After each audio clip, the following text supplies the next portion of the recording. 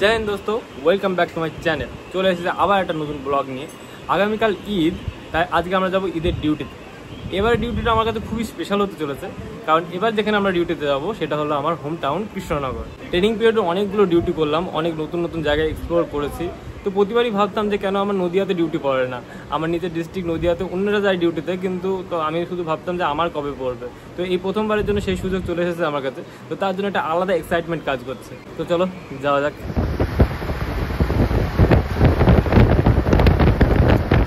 আমরা চলে এসেছি কৃষ্ণনগর পুলিশ লাইনে। এই হলো কৃষ্ণনগর পুলিশ লাইনের ভিতরটা। এই জায়গাটা আমার কাছে খুবই স্পেশাল কারণ প্রথমত এটা হলো আমার হোম পিডি আর দ্বিতীয়ত এখান থেকে আমার কনস্টেবলের জয়নিং হয়েছিল যা প্রায় এক বছর হয়ে গেল। অনেক দিনের স্মৃতি জড়িয়ে আছে এই জায়গার সাথে আমার। কৃষ্ণনগর থেকে এখন আমরা যাব চাপড়া। হ্যাঁ ঠিকই শুনেছেন চাপড়া। আমার লোকাল থানা চাপড়া। আমরা এখন আছি চাপড়া থেকে পাঁচ কিলোমিটার আগে সীমানগর ফরেস্টে এই জায়গাটা আমার কাছে বরাবরই খুব পছন্দের জায়গা। তার কারণ অবশ্যই এই বনবিথি আমরা নেমে পড়েছি এখন চাপড়ায় এখন আমরা যাচ্ছি চাপড়া থানার দিকে। এই যে এই হলো চাপড়া থানার প্রবেশদ্বার যার মাথায় বসে আছেন সাক্ষাৎ মহাদেব। কৃষ্ণনগর পিডি থেকে ডিউটি ডিটেল হওয়ার পর সৌভাগ্যবশত আমার বিচিত্রদা আর অসীমের চাপড়া থানাতে ডিউটি পড়ে। তো ওরা দুজনেও আমার সঙ্গে আছে। জীবনের অনেক ইচ্ছা ছিল একবার চাপড়া থানায় ডিউটি করব। সেই ইচ্ছেটা যে এত তাড়াতাড়ি পূরণ হয়ে যাবে কখনো ভাবিনি। আমার বাড়ি থেকে চাপড়া থানা হার্ডলি পাঁচশো মিটার। চলে এসেছে বাড়ি এই যে আমার ছানাপোনারা। কুট্টুস তার মায়ের দুধ খাচ্ছে আর এই যে ইনি হচ্ছেন ভোলে। ভোলে উলুক ফুলুক করে এদিক ওদিক তাকাচ্ছেন। বাড়িতে এসে আমি বিচিত্রদা আর এখানে আছে অসীম তিনজন মিলে গাড়ি নিয়ে বেরিয়ে পড়েছি। আমাদের গ্রামের বাড়ির উদ্দেশ্যে যাব ওখানে হচ্ছে বর্ডার রাস্তা আছে। তো ওরা কখনো বাংলাদেশ বর্ডার দেখেনি তাই বাংলাদেশ বর্ডার দেখাতে নিয়ে যাব।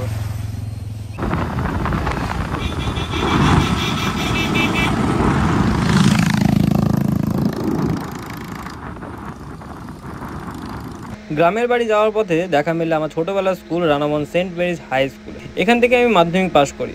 অনেক মধুর স্মৃতিরা বন্দী হয়ে আছে এখানকার ক্লাসরুমের চার দেওয়ালের মধ্যে। এই যে, চলে এসেছি আমরা আমাদের গ্রামের বাড়িতে। এই মুহূর্তে আমি আছি আমাদের বাড়ির ছাদে, আর আমাদের বাড়ির ছাদে উঠলেই দেখা যায় বাংলাদেশ বর্ডার সামনে যে তারকাটা দেখা যাচ্ছে, এটাই হলো বাংলাদেশ বর্ডার এর এই পাশটা হলো ভারত, আর ওই পাশটা হলো বাংলাদেশ। আর সামনে যে পাকা ঘরটি দেখা যাচ্ছে, এটা হলো আমাদের গ্রামের প্রাথমিক বিদ্যালয়। আমি শুধুমাত্র ক্লাস ফোর এখানে পড়েছি। বাড়িতে এসে বসে পড়েছি ভোজনে। ভোজন শেষে আমি আর দাদা অসীম আর বিচিত্রকে নিয়ে আসলাম বর্ডার দেখাতে। টাইম টাইম আধার কার্ড জমা দেয় কেউ ভোটার কার্ড আইডি জমা দেয়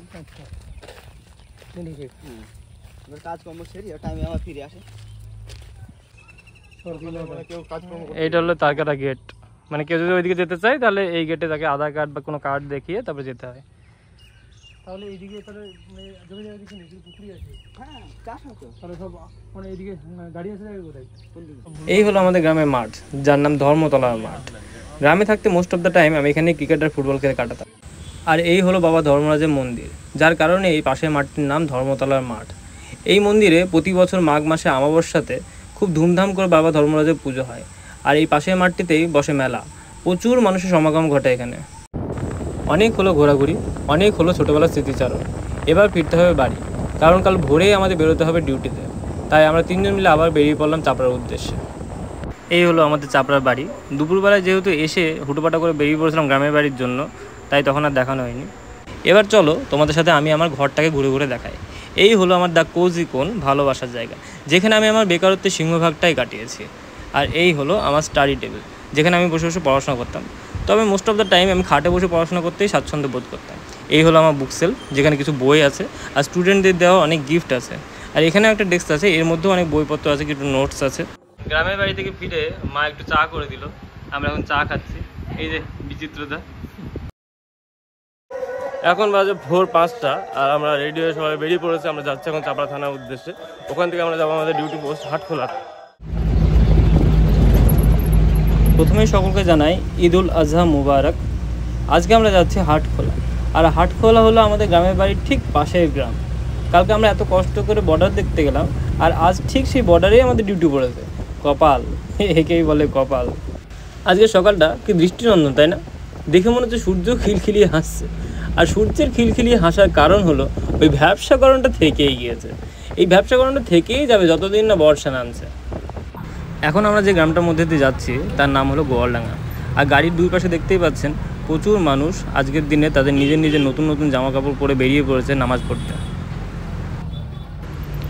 আমরা এখন আছি হাটখোলা গ্রামের একটু আগেই।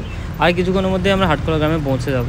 হাটখোলা ঢোকার আগে এখানে যে ব্রিজটা দেখতে পাচ্ছেন, এই ব্রিজটার নাম হলো তিনচারা ব্রিজ ছোটোবেলায় অনেক আসতাম এখানে বন্ধুদের সাথে সাইকেলে ঘুরতে ঘুরতে। তো কখনো ভাবিনি যে এখানে এইভাবে কোনো দিন আসব ডিউটি করার জন্য। আর এর নিচ দিয়ে একটা খাল ছিল এখনও আছে যেটা, কিন্তু সেটা শুকিয়ে গিয়েছে, এখন জল নেই, বর্ষাকালে একটু জল থাকে। এই হলো আজকে আমার ডিউটি পোস্ট কালকে তোমাদের যেমন একটা গেট দেখিয়েছিলাম, সেরকম একটা গেট আছে এখানে। এই গেটেই আমার ডিউটি ওই পারে যাওয়ার জন্য এই গেটটাকে ইউজ করা হয়। এই গ্রামটা খুবই এক্সেপশন কারণ এই গ্রামের মাঝখান দিয়ে গেছে তার কাটা তার মানে ওপারে যে ঘরগুলো দেখা যাচ্ছে, সেগুলো ভারতীয়দেরই। সবচেয়ে বড় কথা এখানকার বিএসএফ ক্যাম্পটাই তার কাটার ওপারে অবস্থিত। এখন আমাদের লাঞ্চ টাইম তো খাওয়ার টাইম হয়ে গিয়েছে। এখানে একটা ক্যাম্প আছে বিএসএফ ক্যাম্প তো সেখানে আমাদের খাওয়া দাওয়ার ব্যবস্থা করা হয়েছে। ওখানে আমরা তিনজন মিলে এখন যাচ্ছি খেতে। ভৌগোলিকভাবে আমরা এখন আছি তারকাটা এই পারে, অর্থাৎ বাংলাদেশের দিকে। স্বাভাবিকভাবে এখানকার মানুষের জীবনযাত্রা আমাদের মতো স্বাভাবিক নয়। আর তার কারণটা বুঝতেই পারছ। এই হলো এখানকার বিএসএফ ক্যাম্পের এক ঝলক। আজকে মেনু ছিল চিকেন বিরিয়ানি, রাজমার ডাল স্যালাড রায়তা, দুই রকম মিষ্টি, আর রুটি ছিল আমি নিইনি। ডিউটি শেষে আমি একটা দাদার কাছে বাইকে লিফ্ট নিই মেন রোড পর্যন্ত যাওয়ার জন্য। মেন রোড থেকে কোনো টোটো বা অটো ধরে চলে যাব চাপড়া। চাপড়া থানা থেকে আজ রাতেই আমাদের ডিপার্চার দিয়ে দেওয়া হয়। তাই আজ রাতেই আমাদের ব্যারাকপুরের উদ্দেশ্যে রওনা দিতে হবে। ইতিমধ্যে আমাদের গাড়িও চলে এসেছে। আমরা এখন চাপড়া থেকে যাচ্ছি কৃষ্ণনগর। কৃষ্ণনগর পুলিশ লাইনে এসে পৌঁছালাম রাত এগারোটার দিকে। এখান থেকে আবার গাড়ি চেঞ্জ করে আমরা যাব ব্যারাকপুর। এই যে, আমাদের গাড়ি দিয়ে দেওয়া হয়েছে। আমাদের গাড়ি এখন কৃষ্ণনগর শহরটাকে ছেড়ে চলে যাচ্ছে।